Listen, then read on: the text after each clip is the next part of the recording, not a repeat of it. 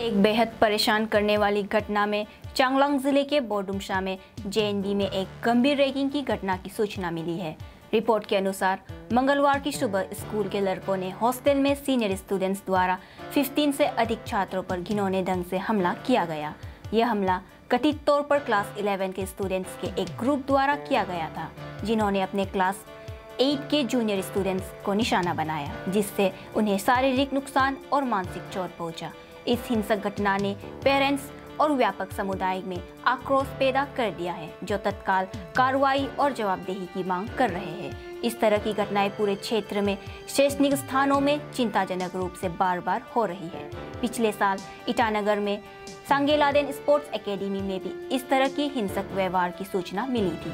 कठोर जाँच, अपराधियों के लिए सख्त दंड और भविष्य में छात्रों को इस तरह की घटनाओं से बचने के लिए निवारक उपायों को बढ़ाने की मांग बढ़ रही है। आज जैसे कि बरदुमसा जे में आ, क्लास एट के बच्चों को करीबन पंद्रह सोलह बच्चों को क्लास इलेवन के बच्चों ने आ, बहुत टॉर्चर किया। और ये आश्चर्य की बात है कि हमारे जो वहाँ के टीचर्स हैं उन्हें पता ही नहीं चलता है।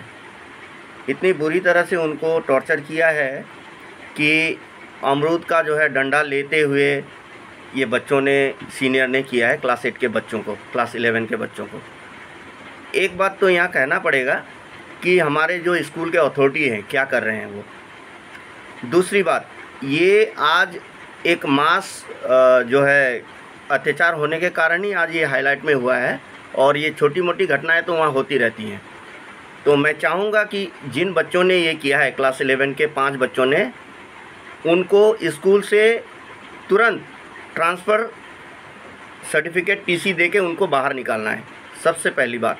क्योंकि अगर उनको सस्पेंशन करके एक महीने, दो महीने के लिए सस्पेंशन करते हैं तो उनका जो है ये इरादा और बढ़ जाएगा और नेक्स्ट टाइम वो नहीं करेंगे, इसकी कोई गारंटी नहीं ले सकते हैं। तो मैं चाहूँगा उन लोग को निकालना है और आइंदा बच्चों के अगेंस्ट में क्लास एट के छोटे छोटे बच्चे हैं, आप लोग देख सकते हैं विजुअल्स में कि कैसे उनको बुरी तरह से शायद पुलिस भी आजकल ऐसी पनिशमेंट नहीं करते हैं। लेकिन वे ऐसा पनिशमेंट किए हैं। लेकिन इसमें क्या है कि अथॉरिटी जो स्कूल के अथॉरिटी हैं, उनका कोई मतलब पुख्ता कोई स्टेप लेने वाले हैं नहीं। उनको थोड़ा सा अपना अथॉरिटी अपना जो पावर दिखाना चाहिए। स्कूल में एसएमसी होता है स्कूल मैनेजिंग कमेटी उनसे हेल्प लेना चाहिए।